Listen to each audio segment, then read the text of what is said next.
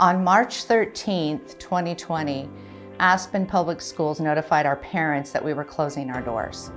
Due to the COVID emergency, by Tuesday or Wednesday the following week, our students had their assignments, they had their computers, their packets, and they were ready to go. So we kind of anticipated ahead of time that schools would be closed. And so preparations were made to deal with the situation once the schools did close. Aspen was more prepared, so to speak, than any of the other schools, whereas I felt like they took great action. You know, the kids had packets that needed to be picked up.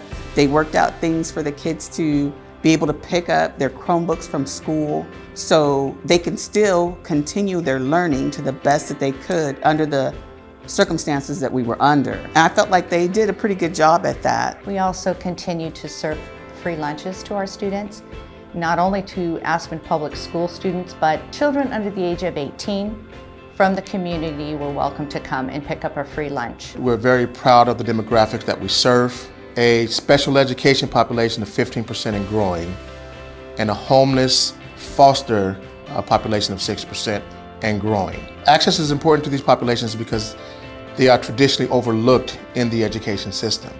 Uh, they either get poor services or no services at all.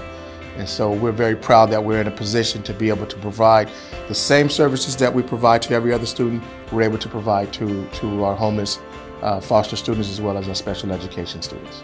The staff has been amazing and communicating to us as parents. We're having invites to watch assemblies virtually. The teachers are just helping us so much to still be able to celebrate our students' accomplishment. And Aspen really puts the students' needs and their families first. The education for the children is at the heart of why we exist. And because of that, we want to make sure that they all get a great education, that there's no interruptions in that education. It always comes back to students and their learning. Our success and the success of our schools it depends on how well our students are learning and continually growing academically. I'm Shelley Leather, Executive Director of Aspen Public Schools, and I want to thank Turner Impact Capital for your partnership through this last year. Uh, the facilities look beautiful, and your staff has been wonderful to work with.